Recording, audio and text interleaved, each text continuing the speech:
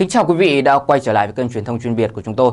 Thưa quý vị, không một gia đình nào là hoàn hảo, vẫn có những cãi vã, vẫn có những mâu thuẫn, thậm chí là sự lạnh lùng trong một thời gian rất dài. Nhưng cho đến cuối cùng thì gia đình vẫn là gia đình, lời tình yêu luôn luôn hiện hữu. Thế nhưng ở đâu đó vẫn xuất hiện những con quỷ dữ đội lốt người, làm chồng, làm bố, gây ra những chuyện táng tận lương tâm, phá vỡ hạnh phúc gia đình, hạnh phúc một nhưng đau khổ mười. Ngày 5 tháng 4 năm 2013, tại xã Đức Hòa, huyện Mộ Đức, tỉnh Quảng Ngãi đã mở ra phiên tòa lưu động xét xử sơ thẩm vụ án sát hại vợ đối với Trương Văn Thuận, 49 tuổi.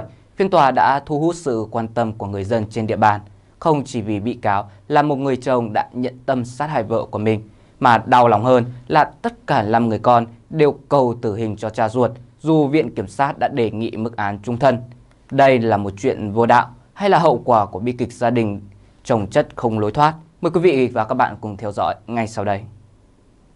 Chiều ngày 29 tháng 11 năm 2012, chị Trương Thị Thủy ở xã Đức Thạnh, huyện Mộ Đức, Quảng Ngãi gọi điện thoại cho mẹ ruột là bà Hoàng Thị Nhiệm 48 tuổi không thấy trả lời. Chị Thủy điều khiển xe máy lên nhà ở thôn Phước, xã Đức Hòa, nơi người cha ruột là ông Trương Văn Thuận 48 tuổi đang ở nhà một mình. Đó buổi sáng cùng ngày, bà Nhiệm bảo lên nhà ở xã Đức Hòa làm cỏ trong vườn nhưng cho đến giờ không thấy về. Cũng chính vào ngày 29 tháng 11 năm 2012, bà Nhiệm về huyện Mộ Đức làm một số thủ tục trước khi ly hôn.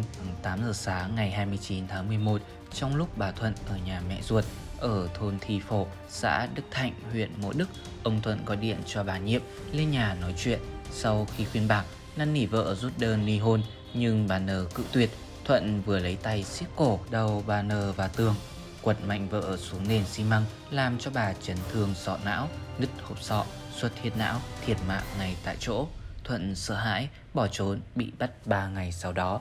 Tăng vật thu giữ được còn lại là danh sách mà Thuận đã lập trước khi sát hại vợ để sát hại thêm vài người nữa, trong đó có hàng xóm, một người em vợ và năm đứa con.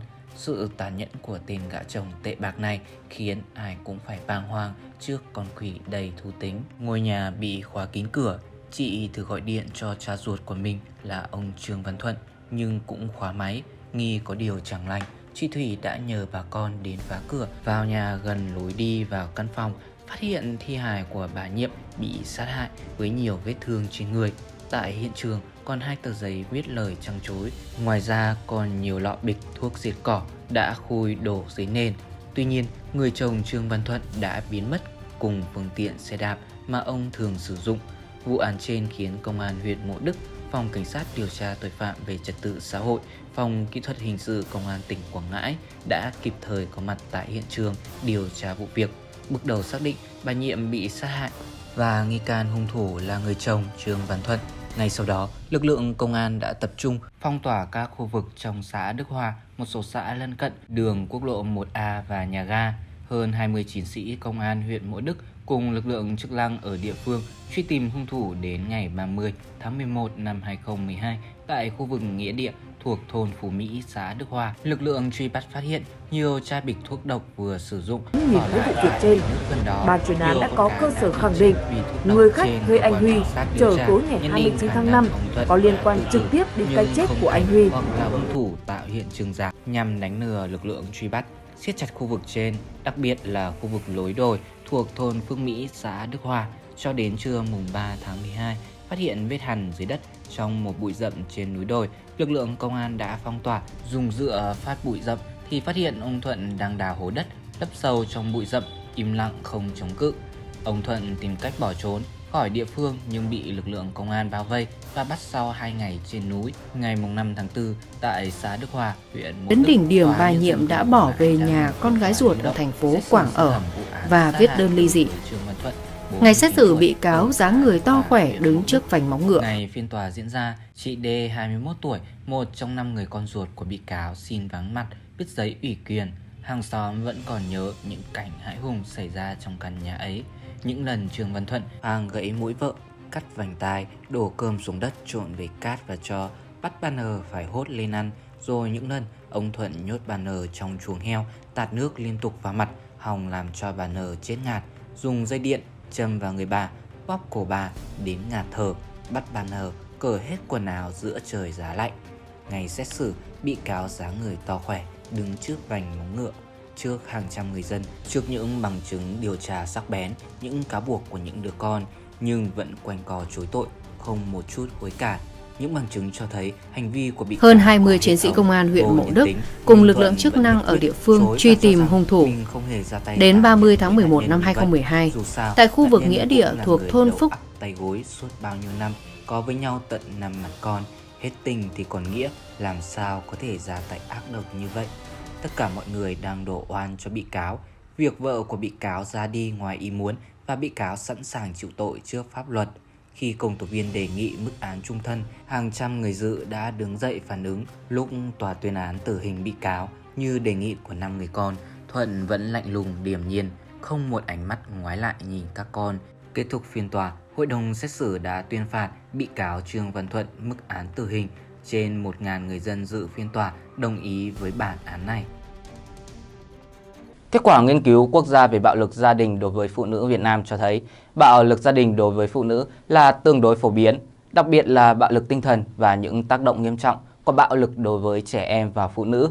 Nghiên cứu cũng cho thấy bạo lực đã được bình thường hóa, người phụ nữ đã phải chịu đựng và chấp nhận sự bạo lực và phải giữ im lặng về những điều mà họ phải hứng chịu.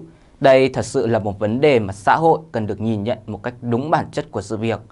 Không những câu chuyện trên đã phản ánh mặt trái của bạo lực gia đình, mà câu chuyện tiếp theo sau đây cũng là bài học cảnh tỉnh cho nhiều gia đình. Ngày 9 tháng 4 năm 2022, Công an tỉnh Lâm Đồng cho biết đã khởi tố vụ án khởi tố bị can bắt tạm Đoàn Thanh Trí, sinh năm 1992, ngụ tại xã Xuân Trường, thành phố Đà Lạt, để điều tra về hành vi sát hại vợ, chôn đại thể phi tang gây chấn động dư luận tại Lâm Đồng. Theo điều tra ban đầu, cho rằng vợ là Trần Thị Kim Trinh, sinh năm 1997, có người đàn ông khác. Tối ngày 11 tháng 12 năm 2021, giữa Trí và vợ phát sinh mâu thuẫn, hai người cãi vã lớn tiếng. Khoảng 3 giờ sáng ngày 12 tháng 12 năm 2021, trong cơn cuồng ghen, đối tượng này đã dùng hung khí tác động nhiều nhát vào người chị Trinh, khiến nạn nhân thiệt mạng ngay tại chỗ. Để che giấu tội ác, trốn tránh sự trừng phạt của pháp luật và đánh lạc hướng cơ quan chức năng, ngay trong đêm, đoàn thanh trí kéo xác vợ ra vườn cách nhà gần 100 mét, đào hố chôn giấu phi tang. Những ngày sau đó, Trí tung tin vợ đã đi thành phố Hồ Chí Minh làm nhân viên phục vụ cho một quán cà phê.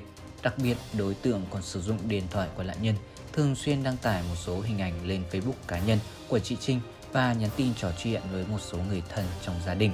Trong đó có bà Trần Thị Kim Phượng là mẹ ruột của nạn nhân. Tuy nhiên, những cuộc gọi điện thoại gọi tới số của chị Trinh thì Chí không nghe máy. Đập đầu bà Nhiệm vào tường và xuống nền nhà cho đến chết. Ngày lễ, Tết, Theo ông Thuận, sau khi giết vợ, ông đã uống thuốc diệt cỏ nhưng không chết. Về nhà mẹ vợ ông Thuận tiếp tục đi mua thuốc độc. Thành phố Đà Lạt chơi, không gọi điện được cho con gái trong thời gian dài. Đã có thời điểm gia đình bà Phượng sinh nghi. Có lần bà Phượng tới nhà Chí để tìm hiểu sự việc nhưng không phát hiện ra điều gì nghi ngờ nên đã không tới cơ quan chức năng trình báo. Chiều tối ngày 6 tháng 4 vừa qua, một người dân sinh sống tại tổ 4, thôn Trường Xuân 2, xã Xuân Trường, thành phố Đà Lạt bỗng nghe thấy tiếng chó sủa mạnh tại một khu đất gần miếu thờ thành hoàng của thôn. Linh tính có điều chẳng lành, người này tới xem, táo hỏa khi phát hiện một phần thi thể đang nổi trên mặt đất trong tình trạng đã phân hủy nặng. Cơ quan chức năng nhanh chóng xác định được thi hài trên là của chị Trần Thị Kim Trinh.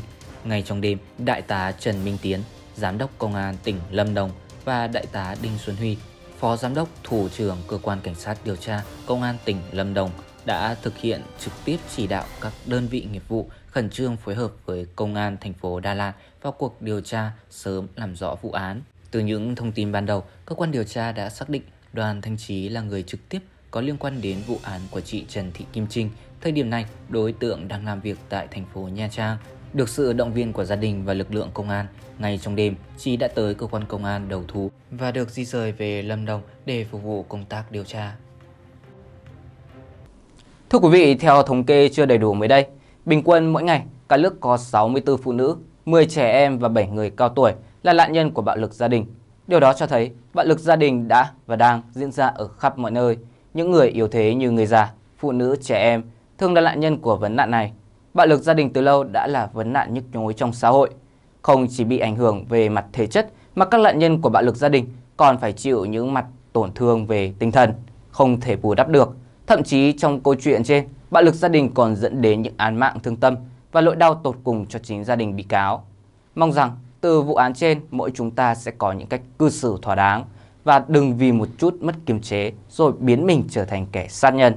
Đừng để bạo lực gia đình trở thành mầm mống của tội ác. Và đến đây thì thời lượng chương trình của chúng tôi cũng đã hết. Cảm ơn quý vị đã quan tâm theo dõi. Xin kính chào và hẹn gặp lại.